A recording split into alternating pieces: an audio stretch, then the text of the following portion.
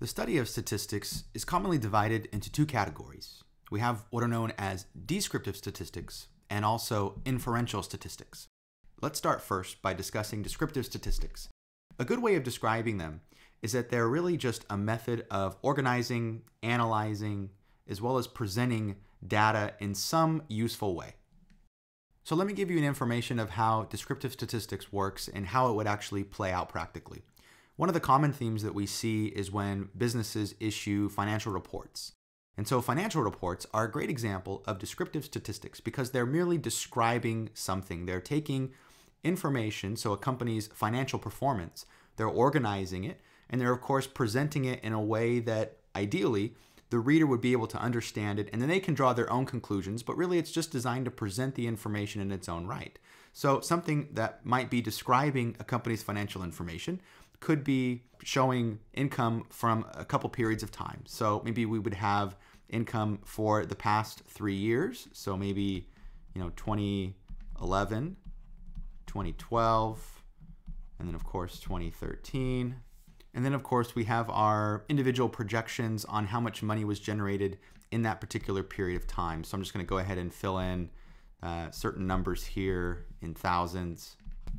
This would be an example of descriptive statistics because we're merely organizing all of our financial information. Uh, we're obviously presenting it in a way that is somewhat useful and that it was much better than if it was all expressed individually. So this is something that we'd use for descriptive statistics.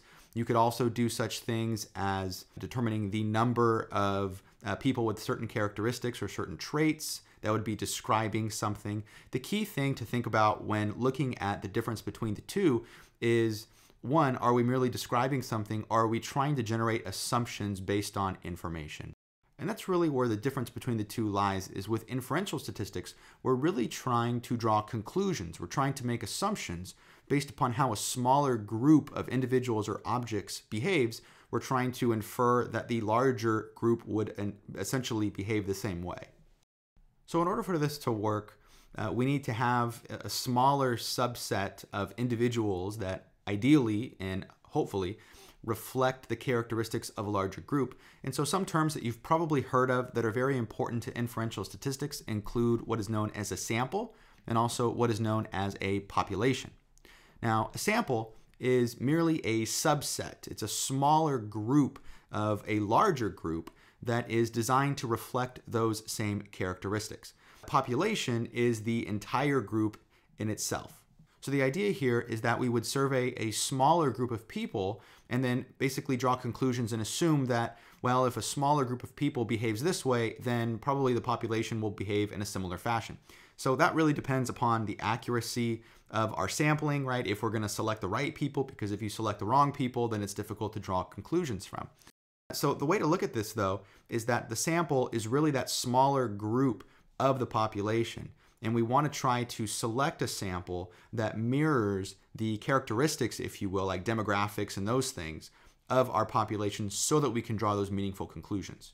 So the first thing that you're probably asking is if there's going to be kind of these issues with obtaining an accurate sample, which we'll talk more about over the course of this series, then why don't we just continue to survey the population? Why don't we do something like the US Census, which in idea is kind of a study of the population not everybody submits it, so it's maybe more of a sample, you might say.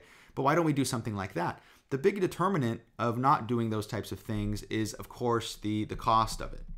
And you think about if you wanted to survey a population of consumers, like American consumers, how costly would it be to try and track all of them down to complete this survey? And it'd be very, very time consuming, not only that, but very, very costly from a, a labor as well as an explicit cost standpoint. So that is one of the biggest reasons is it's very hard, especially if you're a business trying to survey every one of your target customers, to find all of them and to get them to interact with you in such a way that can complete the survey. Whereas if you use inferential statistics and you simply kind of list out the traits and the commonalities and the characteristics of the people that you want to find, then you can go out and find a, a good amount of those enough so that you can draw those conclusions, you can draw those inferences. So that's a little bit about descriptive statistics and kind of how they compare to inferential statistics. We're going to talk more about those over the course of this series. So it's important that we get kind of the purpose of both of them, but also how they are different and how they can be used to present information in a useful way. Thank you for watching this video on descriptive and inferential statistics. In the next video, we're going to explore the types of variables that we commonly see in statistics. For questions, please leave them in the comment box below, and I'll do my best to get back to them in a timely fashion. And if you want more from Alanis Business Academy, you can subscribe to our channel or go to alanisbusinessacademy.com where you can find additional content, quizzes, and more. Thanks for watching.